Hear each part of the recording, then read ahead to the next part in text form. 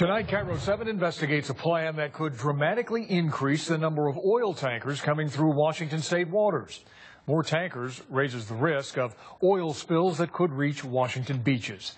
KIRO 7's Graham Johnson went to British Columbia to find out what's being done to prevent a spill or, worst case scenario, handle a cleanup of our shores. At the Westridge Marine Terminal near Vancouver, ships load oil from the Trans Mountain Pipeline. The pipeline starts 715 miles inland across the Canadian Rockies in Edmonton, Alberta. Increasingly, it carries heavy tar sands crude. We're in the business of uh, the safe transportation of petroleum. Kinder Morgan wants to expand its pipeline and bring in more tankers. The monthly maximum of ships could rise from five to 34. I think uh, we've described a project that's in the public interest. That claim is in serious dispute. We don't want your dirty pipeline. The pipeline is fiercely opposed by First Nations and environmental groups worried about oil spills. They staged protests outside federal permit hearings. There is no planet B. In January, the British Columbia provincial government came out against expansion. As these protests pick up in Canada, there is also increasing alarm south of the border. Fred Felleman is a consultant for Friends of the Earth. Last November, he was elected to the Port of Seattle Commission. This is the single biggest risk to our waterway that nobody knows about. Tankers leaving Port Metro Vancouver pass the San Juan Islands and out the Strait of Juan de Fuca. Felleman says the route includes prime feeding grounds for endangered killer whales. This is clearly a, a recipe for disaster. Kinder Morgan says it is ready for any oil spill. This is an air inflatable boom. We toured the warehouse for Western Canada Marine Response Corporation, which cleans up spills. This has to be uh, ready to go all the time.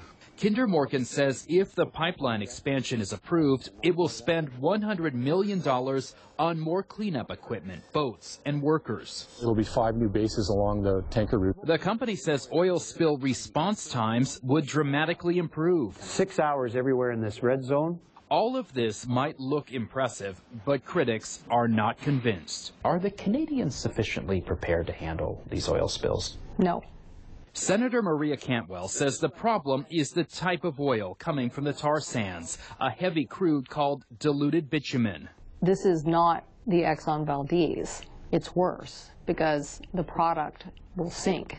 In 2014, the U.S. Coast Guard's top commander told Cantwell there's good technology to remove oil from the surface, but once it settles on the on the seafloor, um, our technology is lacking. With the Coast Guard saying they don't have a way to deal with it yet, it's we shouldn't take the risk. Bitumen sank in a spill in Michigan's Kalamazoo River in 2010.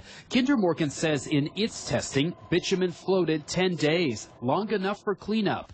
The company has an agreement with the smaller of two U.S.-based spill responders in case a slick moves into Washington waters. It says spills are prevented with two local pilots on every ship and tethered escort tugs through critical areas.